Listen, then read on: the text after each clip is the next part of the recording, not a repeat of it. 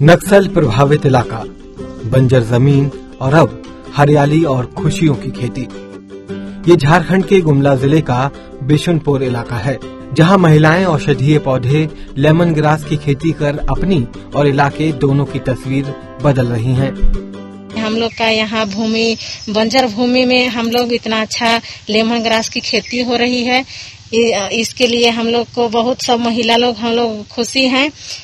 अभी हम लोग सर, सभी महिला मिलके एम के एस बी परियोजना, महिला किसान सशक्तिकरण से हम लोग जुड़े हुए हैं और बत्तीस पीजी है हम लोग को। उसमें से हम लोग सभी महिलाएँ ने खेती, लेमन ग्रास की खेती का शुरुआत किए हैं। राज्य ग्रामीण आजीविका मिशन के तहत यहाँ 26 गाँवों के 32 उत्पादक समूह 28 एकड़ ज़मीन पर लेमन ग्रास की खेती कर रहे हैं। बिशनपुर में महिलाओं की इस मुहिम और सफलता का ज़िक्र प्रधानमंत्री नरेंद्र मोदी ने मन की बात कार्यक्रम में भी किया, जिससे इन महिलाओं का उत्साह और बढ़ गया है। मन की बात में जो प्रधानमंत्री जी यहाँ के बिशनपुर प्रखंड में जो काम चल रही, लेमन ग्रास की खेती का, उसके बारे में बहुत प्रशंसा किए। इसके लिए हम लोग सब यहाँ की जितने भी समूह की दीदी हैं, वो बहुत बहुत धन्यवाद करते हैं। जिन्होंने हम लोग को खेती को देखकर और आज हम इतने आगे आए हैं, हम लोग बहुत खुश हैं। जैसे हम लोग को कल प्रोत्साहित मिला, हम लोग को बहुत अच्छा लगा, बहुत खुश है और हम लोग आगे भी इस लेमन ग्रास की खेती को करना चाहते हैं। पथरीली ज़मीन पर कम लागत वाले लेमन ग्रास के बाईस हज़ार पौधे एक एकड़ ज़मीन पर लगाए जा सकते हैं। वहीं एक क्विंटल उपज से एक लीटर तेल निकलता है, जिसकी कीमत फ़िलहाल पंद्रह सौ रूपए लीटर के आसपास है। इसके साथ ही चाय आदि में भी इसका इस्तेमाल होता है। जो महिलाएँ हैं उनको और कैसे आत्मनिर्भर बनाया जा सकता है, वो कैसे और इसमें बेहतर कर सकते हैं, इस तरफ़ ये भी हम लोग कोशिश करेंगे।